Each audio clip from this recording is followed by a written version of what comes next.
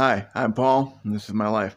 So, it's gonna rain. That's why I'm not out paving the road today or delivering the asphalt to be paved. Um, grass is a bit long. We've had a lot of rain lately. I know that's pretty pedestrian, but if I don't address the problem, the city will come. And they will complain and they will threaten fines and all kinds of other wonderful things. And it does look a little bit ratty.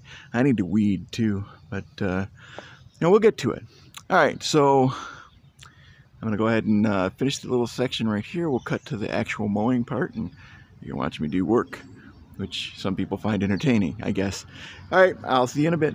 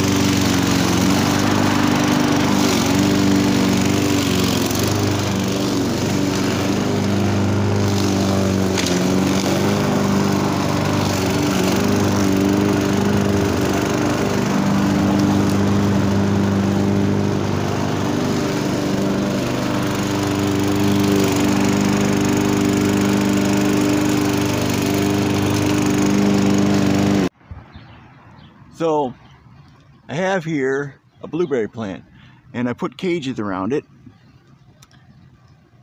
to keep from having it run over. People have had a habit of, and myself included, of parking on the front lawn. And unfortunately, the city complained. There's a theme here. The city will complain about anything.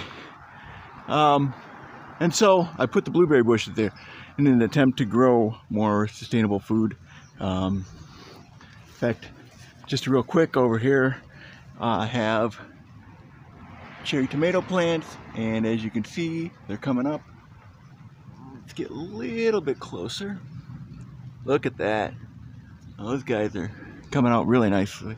So, the vegetables are coming on, which is good. All right, now let me get finished uh, mowing this lawn before it rains because it's starting to sprinkle a little bit. So